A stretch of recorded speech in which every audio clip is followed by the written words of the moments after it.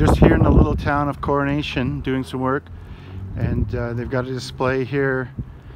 This is the cenotaph and they've got crosses for all of the people who were lost, missing in action or killed. Uh, I'm not sure if it's just Coronation or maybe the whole of the county of Paintearth. But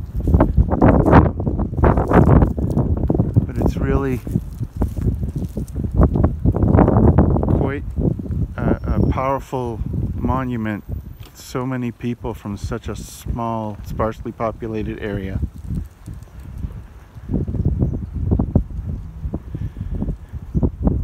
And each cross says where they were lost, World War One, World War Two.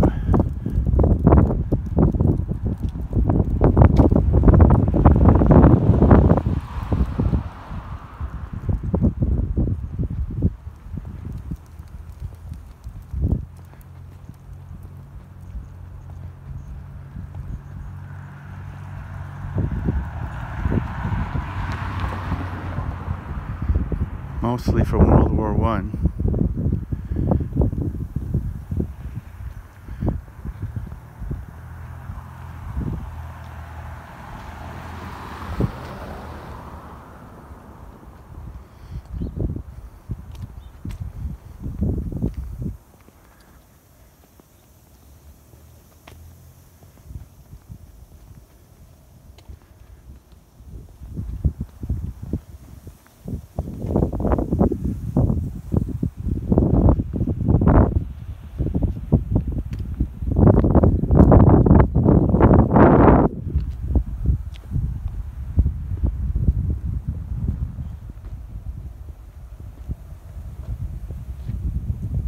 That's a lot of people.